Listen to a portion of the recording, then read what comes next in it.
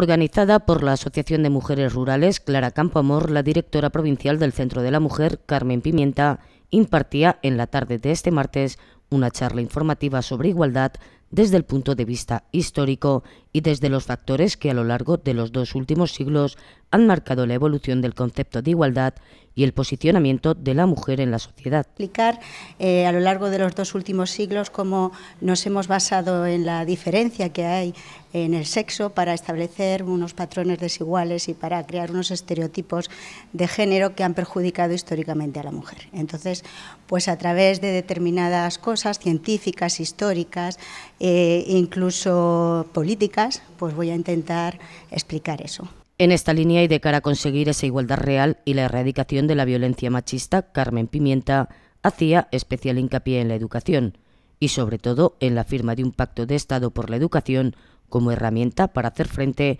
a las desigualdades. Violencia machista, la única manera de ponerle freno es seguir creyendo en el valor de la igualdad como sociedad, buscar la manera de sensibilizar y de prevenir esa lacra y nada mejor que hacer un pacto por la educación, un pacto en el que a través de la educación se empodere también a la mujer y a la niña, se busque la manera de que haya una autonomía económica en las mujeres y que esa autonomía económica no sea inferior a la de los hombres, que tengamos las mismas posibilidades, que no tengamos brechas de, ni laborales, ni brechas salariales, eh, que haya corresponsabilidad. Yo creo que todo eso, si, hiciéramos un pacto por la educación en el que se trabajara tanto la, eh, la igualdad, la tolerancia y la diversidad como, como se está haciendo con el pilotaje de la nueva asignatura de la ley por una sociedad libre de violencia de género y si se trabajara con la orientación profesional con perspectiva de género, creo que, podríamos ir consiguiéndolo. Por otro lado, y ampliando el programa de actividades que las distintas asociaciones de mujeres de Campo de Criptana están llevando a cabo,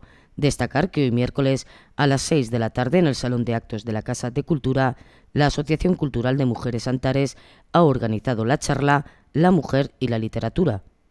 una actividad en la que en una primera parte se proyectará el vídeo Concha Espina para posteriormente dar lectura al relato Mi abuela olía hierbabuena. Finalmente, este próximo domingo, a partir de las doce y media de la mañana, en la Plaza Mayor, el grupo criptanense Lo que diga Luisa amenizará el baile del Bermú en lo que será el colofón a dos intensas semanas de actividad.